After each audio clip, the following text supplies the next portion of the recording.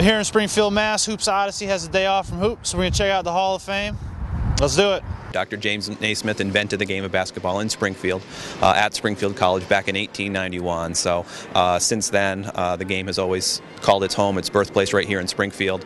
Uh, and ever since the Hall of Fame was formed back in 1959, uh, it's always been in Springfield. We moved uh, new digs into this place just across the parking lot back in 2002 and really felt it was time for a new, bigger, better home for the Hall of Fame.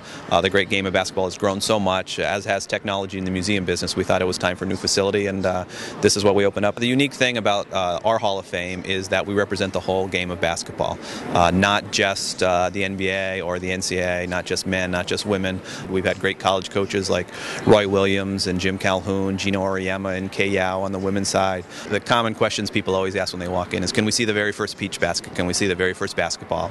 Unfortunately, I think those are those are lost to time. I, I don't think Dr. Naismith and the the men that were playing the game that day realized the, the significance of what they were doing. Springfield is not uh, Hollywood where they're used to the celebrities that, that appear here uh, every September. So it, it's an exciting uh, feeling. The whole city is a buzz when Kareem Abdul-Jabbar and Phil Jackson and some of the great players and coaches in the game all descend on this little town in New England to celebrate the game of basketball. It's really special for, for the whole region. So let me get this straight. You're saying that Springfield is not Hollywood?